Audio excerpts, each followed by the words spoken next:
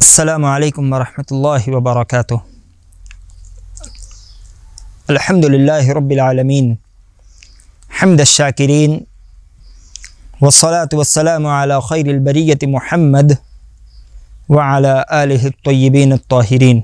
لا إله إلا الله وحده لا شريك له له الملك وله الحمد وهو على كل شيء قدير. أما بعد ناظرين جیسا کہ آپ تمام جانتے ہیں کہ ہماری یہ مجالس جس کا مرکزی عنوان ہے، ممن یؤخذ العلم، علم کس سے حاصل کیا جائے؟ اسی کی دوسری نشست آج ہمارے سامنے ہے، جس کا عنوان رہے گا علماء کا مقام۔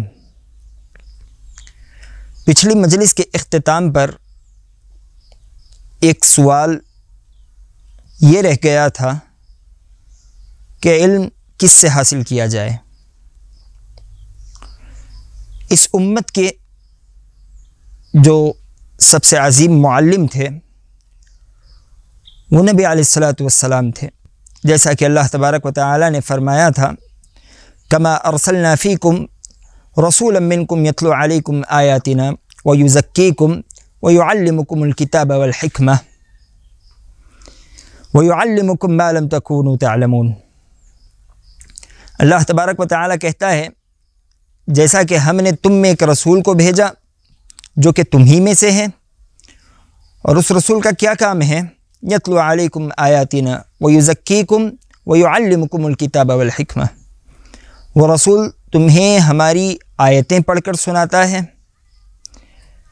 تمہیں پاک کرتا ہے اور تمہیں کتاب اور حکمت کے علم سے نوازتا ہے۔ وَيُعَلِّمُكُمْ مَا لَمْ تَكُونُوا تَعْلَمُونَ۔ اور وہ رسول تمہیں وہ سب کچھ باتیں بتاتا ہے جو تم نہیں جانتے۔ اور خود ایک دوسرے مقام پر نبی علیہ الصلاۃ والسلام نے کہا تھا انما بعثت معلمہ لوگوں، میں ایک معلم بنا کر بھیجا گیا ہوں، ایک استاذ کی حیثیت سے بھیجا گیا ہوں، جس سے لوگوں کو علم حاصل کرنا چاہیے۔ جب نبی علیہ الصلاۃ والسلام اس دنیا سے چل بسے، آپ کی وفات ہو گئی، تو آپ علیہ الصلاۃ والسلام کی یہ ذمہ داری علماء کے سر آ گئی۔ جیسا کہ اللہ کے رسول صلی اللہ علیہ وسلم نے فرمایا، العلماء ورثة الانبیاء وان الانبیاء لم يورثوا دینارا ولا درہم وانما ورثوا العلم، فمن اخذه اخذ بحظ وافر. نبی علیہ الصلاۃ والسلام کہتے ہیں، علماء انبیاء کے وارث ہیں۔ اور جو انبیاء ہوتے ہیں، وہ درہم و دینار کی وراثت نہیں چھوڑتے، بلکہ وہ آنے والوں کو علم کا وارث بناتے ہیں۔ فمن اخذہ اخذ بحد وافر۔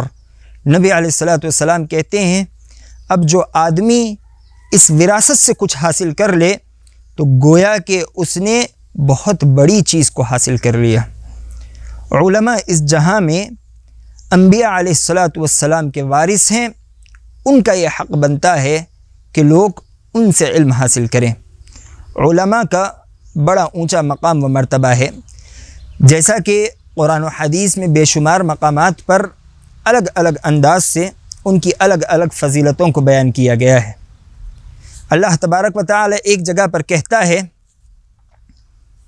کہ قل هل يستوي الذين يعلمون والذين لا يعلمون اے محمد صلی اللہ علیہ وسلم، آپ کہیے، سوال کیجیے کہ کیا علم رکھنے والے، جاننے والے اور جو نہ جانتے ہوں، جس کے پاس علم نہ ہو، کیا یہ دونوں برابر ہو سکتے ہیں؟ اس کا عام سا سوال ہے، یہ ہرگز نہیں ہو سکتا۔ علم رکھنے والے کا ایک مقام ہے، وہ اونچے مرتبے والا ہوتا ہے، اور وہ آدمی جس کے پاس علم نہ ہو، اسے اس دنیا میں بھی جاہل کہا جاتا ہے۔ اور کل قیامت کے دن اس کے رتبے کے حساب سے اس کے ساتھ معاملہ کیا جائے گا۔ ان دونوں کے درمیان میں دن اور رات والا فرق ہے۔ جس طرح کبھی رات اور دن ایک نہیں ہو سکتے، اسی طرح ایک عالم اور ایک جاہل برابر نہیں ہو سکتے۔ یہی وجہ ہے کہ اللہ تبارک و تعالی نے علماء کے مقام کو اونچا کر دیا۔ اللہ کہتا ہے، یرفع اللہ الذین آمنوا منکم والذین اوتوا العلم درجات۔ اللہ تبارک و تعالی نے تم میں سے جو ایمان لانے والے ہیں، ان کو اونچا بنایا اور جو علم دیے گئے ہیں۔ اللہ تبارک و تعالی نے ان کے درجات کو بھی بلند کر دیا۔ یہ کس وجہ سے؟ ان کے درجات کیوں بلند ہیں؟ ایک تو یہ کہ ان کے پاس علم ہے۔ دوسری بات یہ کہ علماء علم آنے کے باوجود اللہ تبارک و تعالی سے ڈرتے رہتے ہیں، یہ تکبر کا شکار نہیں ہوتے۔ جیسا کہ اللہ تبارک و تعالی کہتا ہے، انما یخش اللہ من عباده العلماء۔ اللہ تبارک و تعالی سے جو ڈرنے والے ہیں، اس کے بندوں میں علماء ہیں۔ علماء ہی حقیقت میں اللہ تبارک و تعالی سے ڈرتے ہیں۔ لہذا ان کا حق ہے کہ اختلاف کے وقت، لا علمی کے وقت علماء سے سوال کیا جائے۔ اللہ تبارک و تعالی کہتا ہے فص اہل ذکر ان کن تم لا تعلمون۔ تم علم رکھنے والوں سے سوال کرو۔ اگر تم نہ جانتے ہو، تمہیں کسی چیز کی حاجت ہے، تمہیں اگر رہنمائی چاہیے، تو تمہیں علماء کے پاس آنا چاہیے۔ علماء یہ اللہ تبارک و تعالی سے ڈرنے والے ہوتے ہیں۔ وہ جس چیز کا بھی جواب دیں گے، اللہ تبارک و تعالی سے ڈرتے ہوئے دیں گے، دینی حدود میں رہتے ہوئے دیں گے۔ یہ اس لیے کیونکہ یہی وہ علماء ہیں جن کے دلوں میں اللہ تبارک و تعالی نے قرآن کو محفوظ فرمایا۔ اللہ تبارک و تعالی کہتا ہے، بل ہوا آیا تم بینات فی صدور الذین اوت العلم۔ بلکہ وہ واضح آیتیں ہیں جو علم رکھنے والوں کے سینوں میں محفوظ ہیں۔ اللہ نے ان علماء کے دلوں کو اور ان کے سینوں کو علم کا قلعہ بنا دیا۔ ان کے سینوں میں اللہ تبارک و تعالی نے ان کی حفاظت فرمائی۔ اور اسی کے ساتھ ساتھ یہ لوگ سب سے زیادہ سمجھ بوجھ رکھنے والے ہوتے ہیں۔ جیسا کہ اللہ تبارک و تعالی نے کہا، وَتِلْكَ الْأَمْثَالُ نَضْرِبُهَا لِلنَّاسِ وَمَا يَعْقِلُهَا إِلَّا الْعَالِمُونَ۔ یہ وہ مثالیں ہیں جو لوگوں کے لیے بیان کی جاتی ہیں، جسے علماء سمجھتے ہیں۔ علماء اس کے مقاصد، اس کے مفاہیم سے واقف ہیں۔ تو لہذا جو اس قدر بلند مرتبے والا ہو، جس کی تعریف اللہ تبارک و تعالی کرے، جس کے رتبے کو اللہ تبارک و تعالی اونچا کر دے، جس کے متعلق نبی علیہ السلاۃ والسلام کہے کہ العلماء ورثت الانبیاء، یہ علماء انبیاء کے وارث ہیں، ان کا یہ حق بنتا ہے کہ علم سے علم حاصل کیا جائے۔ اور احادیث میں بھی اسی طرح ان علماء کی فضیلتیں آئی ہیں۔ نبی علیہ السلاۃ والسلام نے کہا کہ فضل العالم علی العابد کا فضل القمر علی سائر الكواكب۔ ایک عالم کی فضیلت ایک عابد پر ایسے ہی ہوتی ہے جیسے کہ چاند کی فضیلت دوسرے ستاروں پر ہوا کرتی ہے۔ چاند کی فضیلت ستاروں پر کیا ہوتی ہے؟ ہزاروں لاکھوں ستارے ہونے کے باوجود جس کی گنتی اور جس کا شمار کوئی نہیں کر سکتا۔ اتنے ستارے ہونے کے باوجود ایک چاند ان تمام لوگوں پر غالب رہتا ہے۔ اور اگر کسی دن یہ چاند بجھ جائے، نہ نکلے، تو اللہ تبارک و تعالی ستاروں کو تو نکالتا ہے، لیکن ان ستاروں کے اندر اتنی روشنی نہیں ہوتی کہ لوگ زمین پر ان ستاروں کے ذریعے سے چل سکے۔ ہاں راستہ دیکھ سکتے ہیں، لیکن چلنے کا مسئلہ الگ ہے۔ روشنی فراہم کرنے کا مسئلہ الگ ہے۔ یہ جو فضیلت ہے، یہ چاند کو حاصل ہے، یہی مسئلہ علماء کے ساتھ ہے۔ علماء لوگوں کے لیے روشنی فراہم کرتے ہیں اور انہیں ان کا راستہ بالکل واضح طور پر بتلاتے ہیں، جس کے تحت آدمی سکون سے اپنی منزل طے کر سکتا ہے۔ اسی طرح نبی علیہ السلاۃ والسلام نے فرمایا کہ علماء کے ساتھ اللہ تبارک و تعالی کی خاص رحمت ہوتی ہے۔ اللہ تبارک و تعالیٰ کا خاص ارادہ ہوتا ہے۔ جیسا کہ نبی علیہ السلاۃ والسلام کہتے ہیں، من یرد اللہ بہی خیرہ یفقہ فی الدین اللہ تبارک و تعالیٰ جس آدمی کے ساتھ خیر کا ارادہ رکھے، جس آدمی کے ساتھ اللہ تبارک و تعالیٰ بھلائی چاہے اللہ تبارک و تعالیٰ اس آدمی کو دین کی سمجھ عطا کر دیتا ہے۔ اسے دین کی فقاہت، اس کے علم سے نواز دیتا ہے۔ کسی انسان کو اگر ہم عالم دیکھیں تو اس بات کا تصور کرے کہ اللہ تبارک و تعالی نے اس آدمی کے ساتھ خیر کا ارادہ کیا ہوا ہے۔ اللہ تبارک و تعالی نے اس آدمی کے ساتھ اپنی خاص رحمت رکھی ہوئی ہے، جس کی وجہ سے اللہ تبارک و تعالی نے اسے دین کی سمجھ سے نواز دیا۔ لیکن آج مسئلہ کچھ اور ہے۔ یہی وجہ ہے کہ علماء لوگوں کی رہنمائی کرتے ہیں، لوگوں کی ہدایت کرتے ہیں، انہیں نقصان سے بچاتے ہیں، انہیں ان کا مستقبل سمجھاتے ہیں، انہیں ان کی راہ دکھاتے ہیں۔ تو دشمنان اسلام نے اس چیز کو بھانپ لیا۔ اور اس چیز کو بھانپتے ہوئے انہوں نے اس بات کی پوری کوشش کی کہ امت محمدیہ کے لوگوں کو علماء سے کاٹ دیا جائے۔ اگر یہ علماء سے کٹ جائیں گے، دین کسی اور سے حاصل کریں گے، تو پھر ان کی رہنمائی صحیح نہیں ہوگی۔ نہ تو دنیاوی معاملات میں صحیح رہنمائی ہوگی اور نہ ہی اخروی معاملات میں ان کی صحیح رہنمائی ہوگی۔ جب صحیح رہنمائی نہیں ہوگی تو یہ قوم ایسے ہی تباہ و برباد ہو جائے گی۔ ان کا یہ ہتھ کنڈا ایسے لگتا ہے کہ آج کامیاب ہو رہا ہے۔ ان لوگوں نے لوگوں کو علماء سے بدزن کرنے کی جو کوشش شروع کی تھی، ایسے لگتا ہے کہ آج وہ کوشش مکمل ہونے کو ہے۔ آج لوگ علماء سے دور ہو رہے ہیں، علماء سے بدزن ہو رہے ہیں۔ ایک عالم کو حقیر جان رہے ہیں۔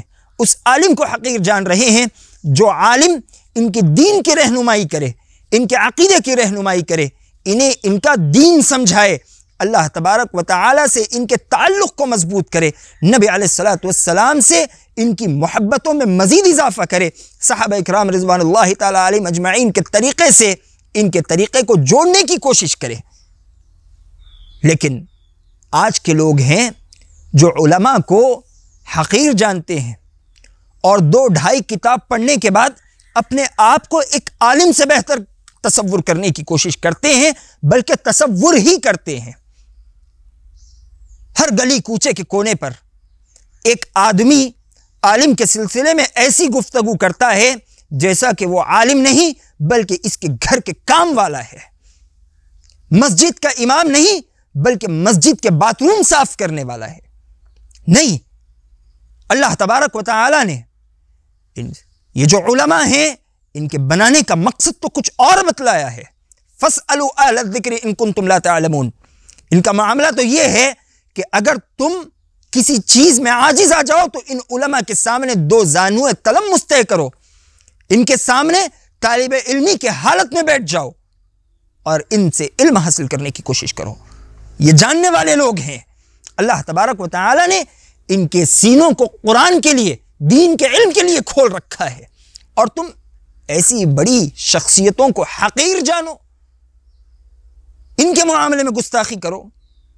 اگر کوئی آدمی ان علماء کے سلسلے میں گستاخی کا شکار ہوتا ہے، تو اسے اللہ کے رسول صلی اللہ علیہ وسلم کی زبان سے نکلنے والی اس روایت سے ڈرنا چاہیے۔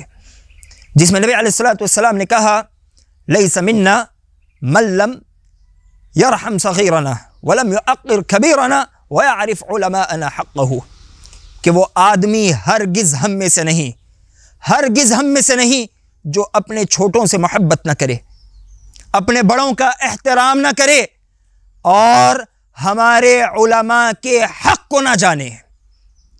ہمارے علماء کا حق ہے وہ اونچے رتبوں پر بیٹھنے والے ہیں اور انہیں اونچے رتبوں پر بٹھانے والی جو ذات ہے وہ اللہ تبارک و تعالیٰ کی ذات ہے۔ آج علماء ہمارے پاس ہیں۔ ہم ان کی قدر کریں۔ اگر یہ علماء ہمارے ہاتھ سے چلے جائیں تو پھر ہمارے دین کی ضمانت بھی نہیں رہے گی۔ ہماری گمراہی یقیناً یہ یقینی طور پر ہمارے حصے میں آ جائے گی۔ جیسا کہ نبی علیہ السلاۃ والسلام نے کہا، ان اللہ لا يقبض العلم انتزاعا من العباد ولكن يقبض العلم بقبض العلماء حتى لم يبقي عالما اتخذ الناس رؤوسا جهالا فأفتوا بغير علم فضلوا وأضلوا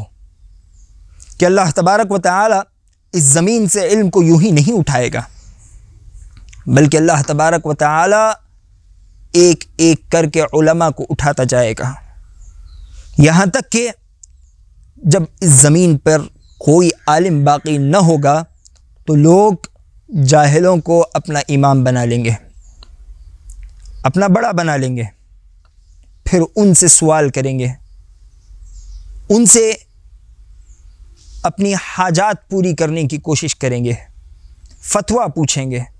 نبی علیہ السلاۃ والسلام کہتے ہیں ففتو بغیر علم، وہ جاہل بغیر علم کے انہیں فتویٰ دیں گے۔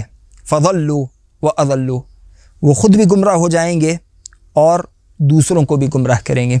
لیکن اس کے بالمقابل ایک جو عالم ہوتا ہے، وہ خود بھی ہدایت پر رہتا ہے اور لوگوں کو بھی ہدایت پر لانے کی پوری کوشش کرتا رہتا ہے۔ نبی علیہ السلاۃ والسلام کی بنی اسرائیل والی وہ روایت جس میں ننانوے قتل کرنے والے آدمی کا تذکرہ ہے۔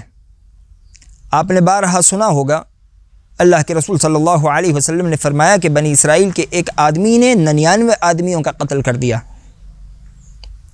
اس کے بعد اس آدمی کو ندامت ہوئی۔ وہ ایک عابد کے پاس پہنچتا ہے، عبادت گزار کے پاس پہنچتا ہے۔ وہ عبادت گزار تھا، علم رکھنے والا نہیں تھا، عالم نہیں تھا۔ اس کے پاس پہنچ کر کہتا ہے کہ میں نے ننانوے قتل کر دیے۔ کیا میری مغفرت ہو سکتی ہے؟ کیا اللہ تبارک و تعالی مجھے معاف کر سکتا ہے۔ وہ عابد کہنے لگا، کیا تمہیں شرم نہیں آتی؟ اتنے قتل کرنے کے بعد تم اللہ تبارک و تعالی سے مغفرت کی امید رکھتے ہو۔ وہ آدمی اچٹ تھا، اسی لیے اس نے ننانوے قتل کیے ہوئے تھے۔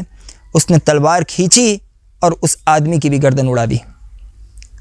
پھر اسے شرمندگی ہوئی۔ وہ لوگوں سے سوال کرتا رہا کرتا رہا۔ یہاں تک کہ لوگوں نے اسے ایک عالم کا پتہ بتا دیا۔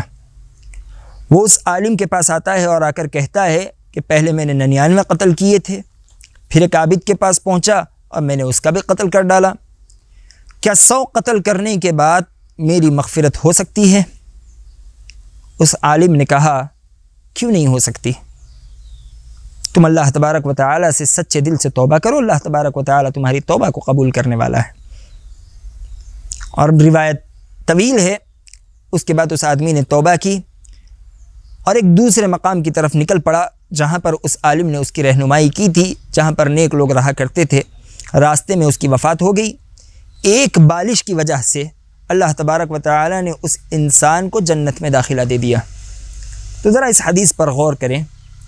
ایک علم رکھنے والے نے خود اپنی جان بھی بچا لی اور اس آدمی کو جہنم میں جانے سے بھی بچا لیا۔ بچایا نہیں، بلکہ اسے جنت میں داخل کروا دیا۔ جنت تک اس کی رہنمائی کر دی۔ اور اس عالم کے بالمقابل جو عابد تھا، اس نے اپنی جان کا بھی نقصان کیا اور جان کا نقصان کرنے کے ساتھ ساتھ اس نے اس آدمی کو بھی گناہ میں ڈال دیا۔ ایک عالم اور ایک عابد کے درمیان میں یہی فرق ہوتا ہے۔ علم رکھنے والے اور ایک جاہل کے درمیان میں یہی فرق ہوتا ہے کہ علم رکھنے والا لوگوں کی رہنمائی کرتا ہے، اسے اسلام کی تعلیمات بتاتا ہے۔ اللہ تبارک و تعالی اور نبی علیہ الصلاۃ والسلام کے طریقے کے قریب کرتا ہے۔ لیکن اس کے بالمقابل ایک جو جاہل ہوتا ہے، وہ خود تو جہالت میں ہوتا ہے، اوروں کو بھی جہالت کی طرف رہنمائی دیتا ہے اور انہیں جہالت کے راستے پر چلاتے چلاتے جہنم کے قریب کر دیتا ہے۔ اللہ تبارک و تعالی اس سے ہماری حفاظت کرے۔ انشاءاللہ جو باقی باتیں ہوں گی، وہ آئندہ مجلس میں ہوگی۔ اللہ تبارک و تعالی سے دعا ہے کہ الہ العالمین جو باتیں کہی گئی ہے، سمجھتے ہوئے اس پر عمل کرنے والا بنا۔ آمین۔ وآخر دعوانا أن الحمد لله رب العالمين والسلام عليكم ورحمة الله وبركاته.